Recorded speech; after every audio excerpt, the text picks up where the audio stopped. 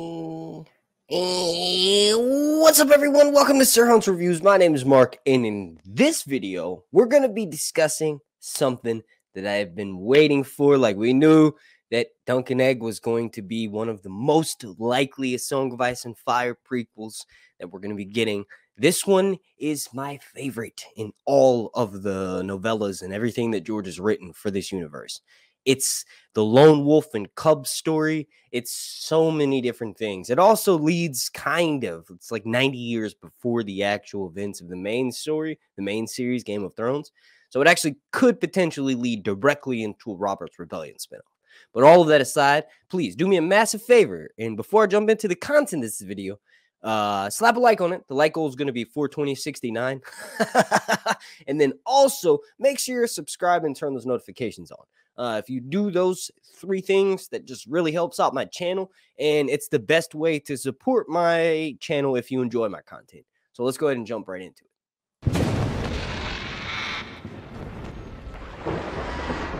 All right. Now, this is a uh, article from deadline.com, and they have mentioned Steve Conrad. He's known for Patriot, Patriot Perpetual Grace Ltd. Um, has been tapped as writer and executive producer on the Dunk and Egg prequel series to Game of Thrones, which has been in the works at HBO, sources said. Rep for the Premium Network had no comment. They go on to state that the Dunk and Egg tales, yada yada, we're actually about to discuss that now, and they go on to mention that Conrad's feature writing credits include Wonder, Unfinished Business, The Pursuit of Happiness, The Weatherman, and NTV. He created Prime Video's Patriot and the upcoming AMC Plus animated neo noir series Ultra City Smiths and co created Epic's Perpetual Grace Ltd. He also served as director on all three shows. Conrad is repped by CAA. So, what does all that mean? What does that mean? What is this? This world of ice and fire is just getting bigger, right? So, personally, I've never heard of Steve Conrad. I've obviously heard of some of the projects he's been involved in, but one of the things that I thought was kind of interesting is that sometimes he potentially tends to uh, cast his brother because obviously that's my very next thought is like, oh, we've got a, basically a showrunner, right? We need casting. That's like the next thing because that's honestly what's going to make or break this show. You got to realize that these two characters, right? Sir Duncan the Tall and Aegon, they, I guess it would be really easy to find an egg, but not so much Dunk. Dunk the Lunk is tall. He's fucking lean. He's, he, at the start of the story, he's young, so it's going to be really hard to find an actor that will be able to play that role. But looking down that path, I'm thinking like, you know, Condal had a hand in casting some of the uh, actors for his show. So obviously, this guy Steve is probably going to have a hand in casting some of the actors for his show. And when you look at some of his projects, his brother is in some of his projects. Now, this dude's American, so obviously his brother is American. And HBO, aside from Peter Dinklage, doesn't necessarily cast American actors to you know uh, do british accents basically because it's really hard for them but i i feel like you know it's possibility I, I guess what i'm getting at is here is I haven't even really looked to see who would be potentially cast in this role.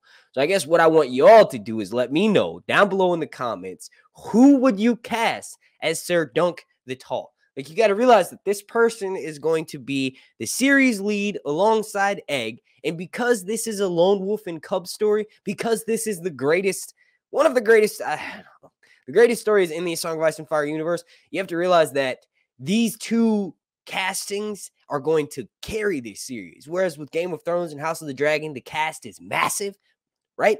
Dunk and Egg literally focuses on Ser Dunk the Tall and Aegon.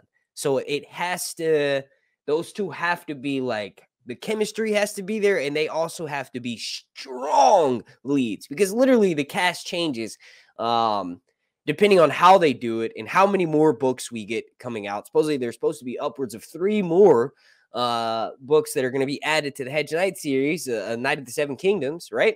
So, depending on where that is, and obviously, I think George has been working on those. He probably has been working along those with Winds of Winter. He likes to write multiple things at once. That's how his brain works. He's probably finished several projects, whatever, right? So depending on how much source material we have is really going to determine how often the cast gets switched up. Because just for an example, and I guess I should really, really, really tread carefully here because at this point, you know, we're like uh, the five minute into the video, so there are several people that people that are still watching, um, you know, whatever. I don't even know what the fuck my point was. But getting back on track here, um, this the way that this is most likely going to work out uh at least how I can see it right now in my head is that the first season will be book 1 uh maybe that would spill over into halfway through to season 2 then obviously season 2 book 2 and then eventually book 3 I think the series would culminate at the tragedy of Summerhall I know that's like a big leap and jump between times but if we get 5 seasons it's possible to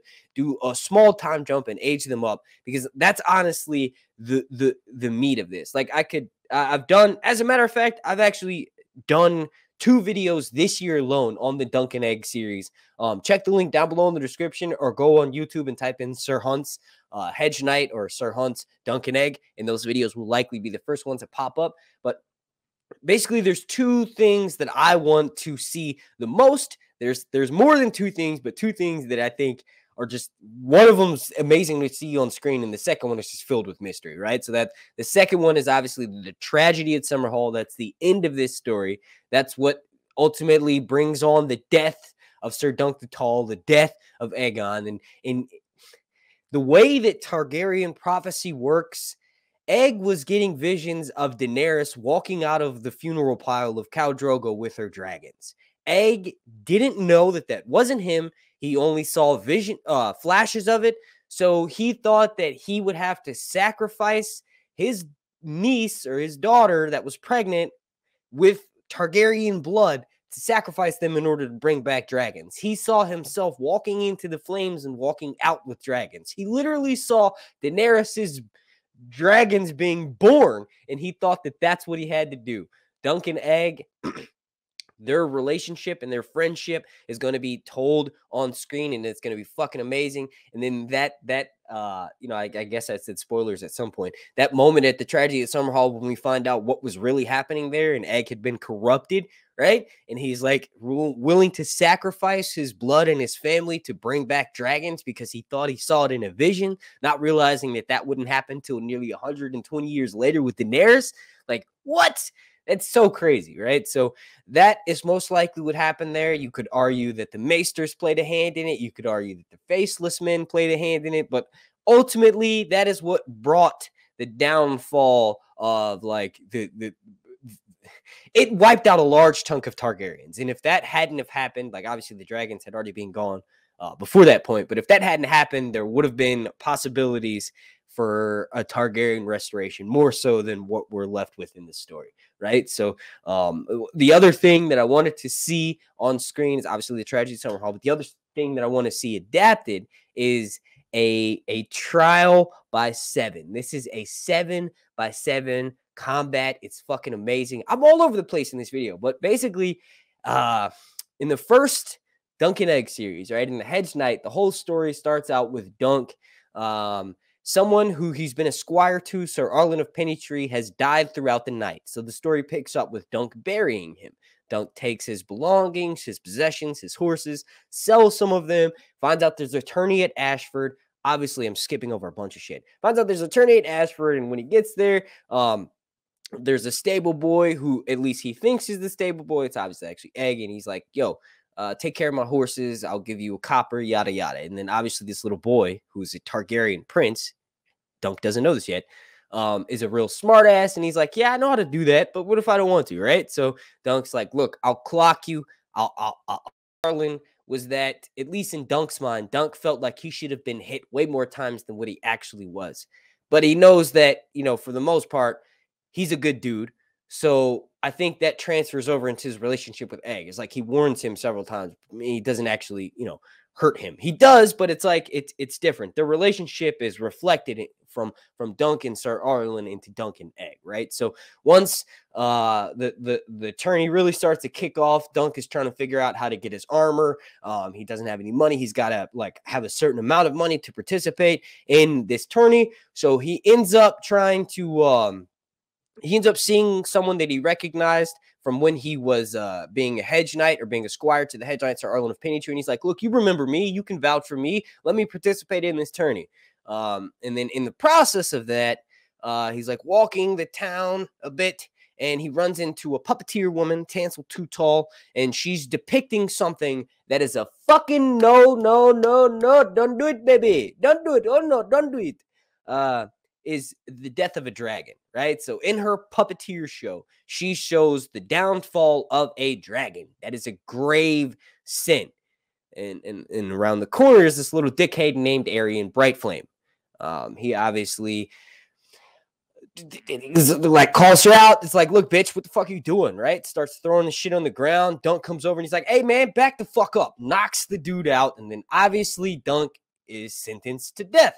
But then there's some uh, manipulations happening because obviously Targaryen princes are either assholes or they're good, okay people, right? There's just kind of very few that are in between, right? So obviously Aerion Brightflame is a dickhead. So what ends up happening is that trial by seven instead of Dunk being executed or whatever, there's a trial by seven, and in that, uh, Dunk Dunk ends up beating the shit out of Aerion Brightflame. Although at the beginning, um, Dunk tried to tilt his lance to get the up uh, to get the upper hand on Aerion, but Aerion unhorsed him. So Dunk ended up having to drag him down off of his horse, and he Dunk used his size uh, as the advantage of that fight. Basically, beat the shit out of this dude, dragged him over to the side, and say, "Yo, recant your statement." It is the most badass thing ever. He like has to keep punching him. It's so fucking amazing. It's going to be insane to see on screen, right? So. Uh, obviously, this video wasn't going to be too, too terribly long. If you want me to go uh, more in depth um, than I actually just did. Go, like I said, go to YouTube, type in Ser Hunt's Dunk and Egg. In those videos that I did where I talked about uh, Hedge Knight and, and what happens in that series uh, in depth, those videos are available. Um, the next thing that I wanted to talk about, like we talked about who Steve Conrad is. He's a writer. He's worked on several different projects. Sometimes he casts his brother. Um, speaking of casting, the casting, in my opinion, has to be really, really good for Dunk and Egg. That is that's honestly got to be stronger than the scripts at first because the scripts are literally already written, right? So you have to just sort of adapt it from the source material. The casting has to be insanely strong because, yes, this will have a large, diverse cast of people, but this story is more so about Dunk and Egg and their journey across Westeros, right? So we get to see the Seven Kingdoms. We get to see part of Westeros that we never really seen in the main series, or if we did, it was at a different time period, right? So that's really important is to make sure you get strong lead actors for this series. Um, my two favorite things that I'm looking forward to seeing on screen are the tragedy at Summerhall, and then obviously the trial by seven that happens in the first book. That's going to be fucking amazing. Um, as far as release date and like how many seasons it'll run for, to be completely honest, I think this is about two years down the line, unless we know that it gets greenlit, like unless that comes out after House of the Dragon, which usually is how it works, right? So House of the Dragon will obviously be a mash, uh, a massive success. So then after that, to keep the hype kind of going, building the hype for season two of House of the Dragon, they're also probably going. That's when they'll announce, uh, in my opinion, the next iteration of a prequel series from the in the Game of Thrones universe. That would make the most sense. So maybe that's like six months down the line um, six months to eight months, and then eventually the casting. Once the casting starts coming out, that's when we'll know, hey, they're in full swing. The show should be on the air within a year. Um, and uh, you know, don't forget to check out the previous videos that I've done on Dunk and Egg before. Uh, but as far as how long this series runs, I think five seasons is perfect. Obviously, know there's going to be more books. Uh, the Wolves of Winterfell, right? There's going to be more Dunk and Egg books, but I feel like it, it, TV shows something like this. It's set in a Song of Ice and Fire universe. It's set a little bit before Game of Thrones, right? Then we'll have the other show that's set a long time before Game of Thrones. Then we'll eventually have Robert's Rebellion. So we're gonna have a full flushed out timeline, right? So it just makes sense. Um, five seasons. I don't know. You all let me know what you think down below in the comment section. Uh, I want to thank you all so, so much for watching. My name's Mark, and please, please, please slap a like on this video. This has been Ser Hunts alumni. Oh, you know what? I forgot. Zaldrizas pusdari. Ixos daor.